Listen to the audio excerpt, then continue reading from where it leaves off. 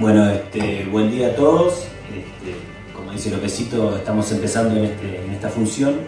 Me parece que lo, primero que corresponde es un agradecimiento, un reconocimiento al ingeniero Carvalho, que, que, tuvo 14 años en este puesto, desarrolló esta exposición, lo que vemos hoy era un chilcal, creo que es lo primero que toca decir.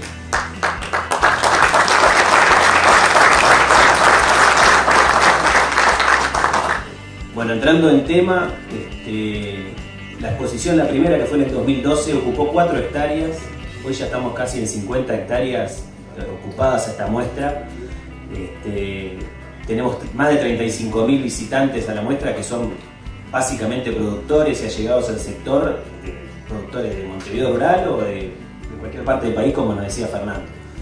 Este, es una muestra que, que la parte forrajera realmente es espectacular, cada vez la vemos más grande, sabemos, este, hemos podido agregar una parte agrícola con lo que es el convenio de INASE que, nos da una fuerza este, muy importante, este, un, convenio que, permite evaluar los cultivares de maíz de secano y de riego, que, que realmente va a atraer mucha gente y, es un, llama, un, llamador para empresas que, no teníamos.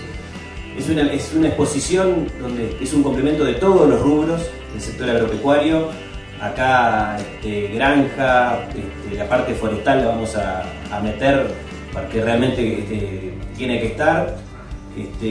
Como ven, crecimos con una segunda entrada, mantenemos la primera porque realmente la primera está bien hecha, tenemos la suerte de poder agregar cosas sin tener que, digamos, sobre cosas bien hechas.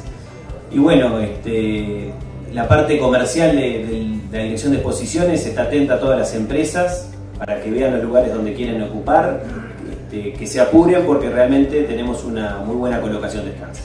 Muchas gracias a todos por venir y.